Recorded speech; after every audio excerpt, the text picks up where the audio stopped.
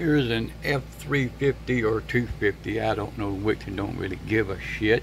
Uh, coming into our neighborhood. There's the center of the road right there. There's the time stamp and date.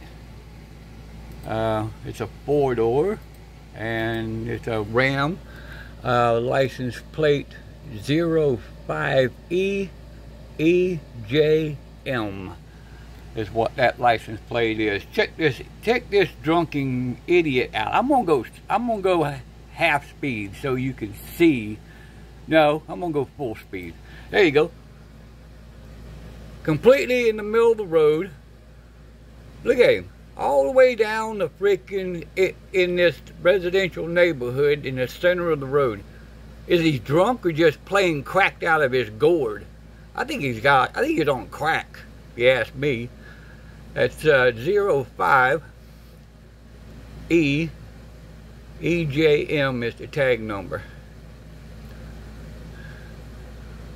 I see the Mexicans are out on their little mini dirt bikes again.